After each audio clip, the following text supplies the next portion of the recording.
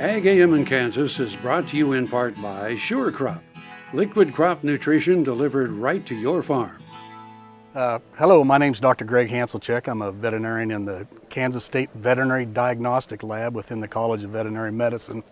And I'm here at uh, Beef Stocker Days at K-State to talk about coccidiosis. And if you're not familiar with what coccidiosis is, that's a, it's a parasite, a protozoa parasite that lives in the intestine of calves because it does have effects on not only the health of the calves but also on average daily gain, feed conversion, and then coccidiosis is also a important immunosuppressive. So calves that have coccidiosis are at a higher risk of, of developing other diseases. We talk about the way coccidia is spread is a, it's a fecal oral transmission. So a calf either has to ingest feces from a calf that's passing it in the manure or they have to ingest uh, the ground that's contaminated, feed or water. Uh, in my experience, water contamination is one of the biggest spreads of this uh, disease among, among calves. Uh, some other important things to know about it is that it's on every operation. Coccidia are on every operation and every calf is going to become infected with this uh, intestinal parasite sooner or later in their life.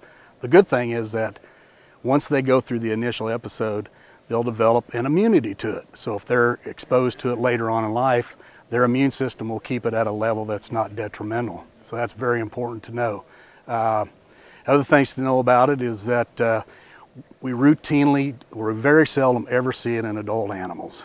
And that's because of that immunity. So we very rarely see it in cows, in cow-calf herds that have coccidiosis, but we can find them because once an animal goes through the initial phases of it and their immune system kicks in, a certain percentage of them will be carriers. That's why we can find it on every place at all times and if we sample enough animals within a herd, we'll find it within the animals.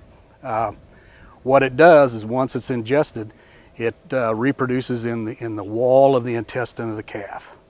And then once it gets to another stage, uh, all these coccidia break out of the wall into the, the inside of the, of the large intestine and it's passed in the feces. When they break out of that wall, they cause tremendous damage. And a lot of times, uh, one of the classical signs we'll see in calves with coccidia will be blood in the manure. And that's because there's bleeding in the, in the large intestine when these coccidia organisms break out. What that has to do with average daily gain and feed efficiency is that now we have an, an injured small intestine. So the nutrients that the calf's eating passing through instead of being absorbed into the bloodstream to nourish the calf, that large intestine that's damaged is not absorbing those nutrients. So those nutrients are just passing out into the feces. Uh, it's always for producers if you if you think that you have coccidiosis, if it's calves, multiple calves in a pen with diarrhea, uh, some of them are off feed, might have a little bit of a, a long hair coat, uh, just aren't doing well.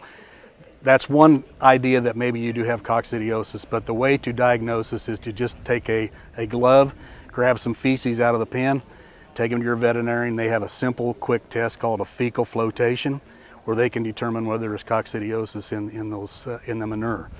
If there is, then the best thing to do is just mass treat the entire group. And there's some really good products on the market that you can just put in the feed. They're very palatable and it'll get those calves over the, over the coccidiosis. There's some tremendously good preventative products on the market. Uh, ask your veterinarian what they are, but I strongly recommend that especially for stockers, that they feed these products at all times to these calves so that they're keeping the, the amount of coccidia in the intestine to a, a, a low enough dose that it's not going to hurt those calves.